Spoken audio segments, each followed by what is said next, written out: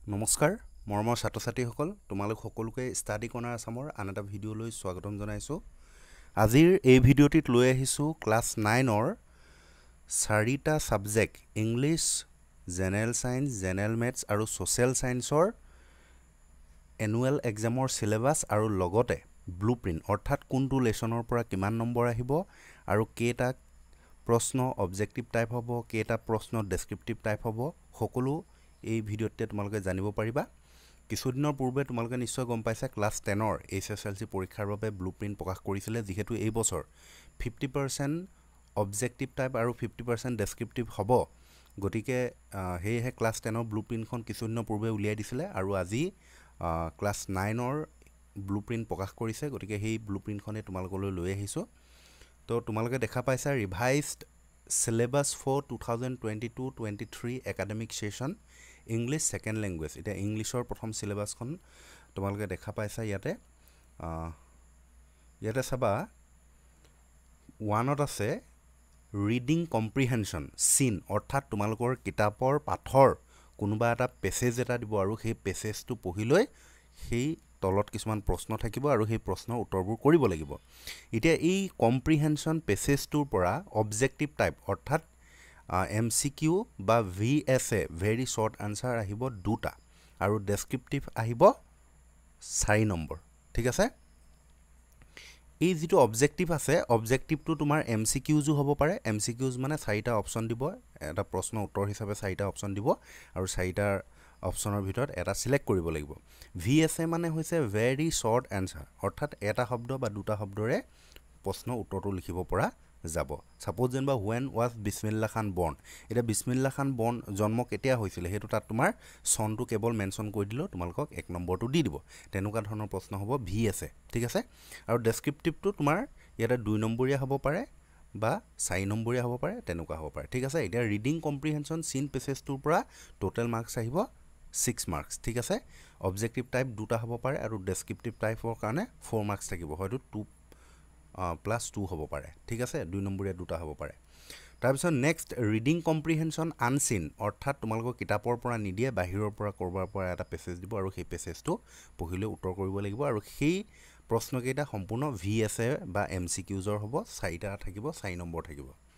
তাৰপিছত next serial number টুত দেখা পাইছা ট্ৰান্সলেশ্যন বা এম্প্লিফিকেশ্যন ইয়াতে তোমাৰ থ্ৰী মাৰ্কছ থাকিব ডেছক্ৰিপটিভ হ'ব। আৰ্টিকল বা ষ্ট'ৰি ৰাইটিং ইয়াতো তোমাৰ ফাইভ মাৰ্কছ থাকিব ডেছক্ৰিপটিভহে হ'ব। নেক্সট ন'টিছ বা ৰিপৰ্ট ৰাইটিং ইয়াতে তোমাৰ থ্ৰী মাৰ্কছ থাকিব। ঠিক আছে? আৰু এইটো ডেছক্ৰিপটিভহে হ'ব। নেক্সট গ্ৰামাৰৰ আছে tense use of passive voice word order narration preposition degrees of comparison question patterns ইয়াৰ পৰা অবজেক্টিভ টাইপ দহটা আহিব দহ নম্বৰ আৰু ডেছক্ৰিপটিভ থাকিব ছিক্স মাৰ্কছ টোটেল হৈ গ'ল ছিক্সটিন মাৰ্কছ ষোল্ল নম্বৰ।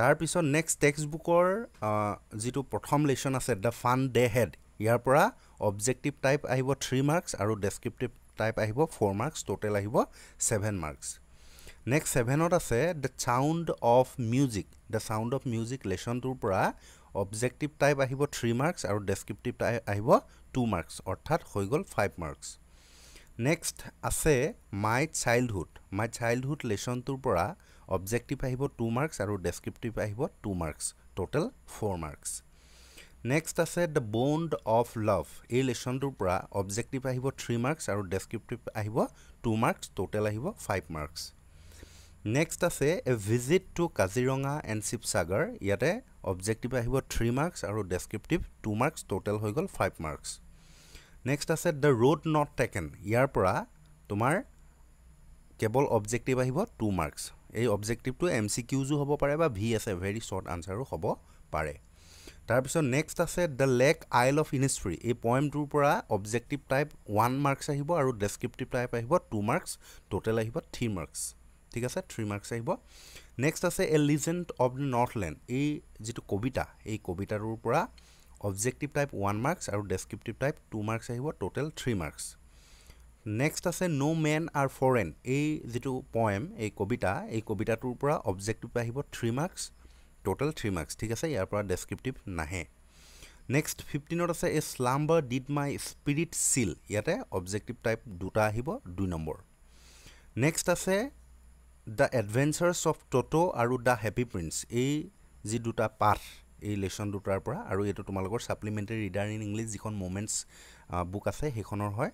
এই দুটাৰ পৰা অবজেক্টিভ টাইপ আহিব থ্ৰী মাৰ্কছ আৰু ডেছক্ৰিপটিভ ফ'ৰ মাৰ্কছ আহিব ট'টেল ছেভেন মাৰ্কছ ঠিক একেদৰে weathering the storm in Ersama a house is not a home এই দুটাৰ পৰা অবজেক্টিভ থ্ৰী মাৰ্কছ আৰু ডেছক্ৰিপটিভ ফ'ৰ মাৰ্কছ ট'টেল হৈ গ'ল ছেভেন মাৰ্কছ ট'টেল হৈ গ'ল forty five objective forty five হ'ব আৰু descriptive forty five total ninety marks আৰু ইয়াতে দি দিছে M C Q full ফৰ্মটো multiple choice question V S very short answer type question S A মানে শ্বৰ্ট আনচাৰ টাইপ কুৱেশ্যন আৰু L A মানে long answer type question ঠিক আছে? আৰু ইয়াতে উল্লেখ কৰি দিছে তোমালোকৰ এম চি কিউজ আহিব বিছটা ঠিক আছে? এম চি কিউ যিয়া দেখা পাইছা এম চি কিউ কুৱেশ্যন আহিব টুৱেণ্টি আৰু ভি এছ এ আহিব টুৱেণ্টি ফাইভ মাৰ্কছ ঠিক আছে? গতিকে বিছ বিছটা প্ৰশ্ন তোমালোকৰ মাল্টিপুল চইচ কুৱেশ্যন হ'ব য'ত প্ৰশ্নটোৰ উত্তৰ হিচাপে অপশ্যন দি দিব অপশ্যনৰ পৰা বাছি উলিয়াব লাগিব ঠিক আছে? তো এইখন হৈছে ইংলিছৰ চিলেবাছখন ইয়াতে তোমালোকৰ বাকী তিনিটা ছাবজেক্টো ইয়াতে দেখা পাইছা জেনেৰেল মেথছ এইখন মেথছৰ চিলেবাছখন আৰু নেক্সট আছে তোমাৰ জেনেৰেল ছায়েন্স ঠিক আছে? এখন হৈছে জেনেৰেল ছায়েন্স আৰু তাৰ পিছতে আছে তোমাৰ ছ'চিয়েল ছায়েন্স ঠিক আছে? এই গোটেই চাৰিওটা ছাবজেক্টৰে তোমালোকে এই ব্লু প্ৰিণ্টখন পাই যাবা আৰু এই ব্লু প্ৰিণ্টখনৰ ডেছক্ৰিপশ্যনত মই লিংক দি দিম। তোমালোকে লিংকত গৈ লৈ এই ব্লু প্ৰিণ্টখন চেবাৰ অফিচিয়েল ছাইডৰ পৰা ডাউনলোড কৰি ল'ব পাৰিবা।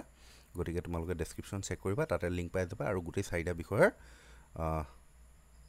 চিলেবাছটো পাই যাবা ঠিক আছে? লগতে কোনটো চেপ্টাৰৰ পৰা কিমান নম্বৰ আহিব সেইটো জানি যাবা ঠিক আছে?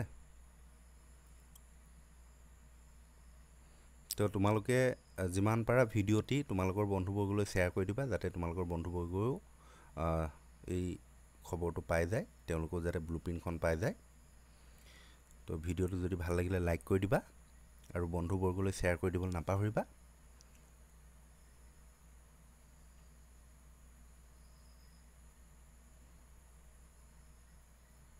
এইখন ছ'চিয়েল ছায়েন্সৰখন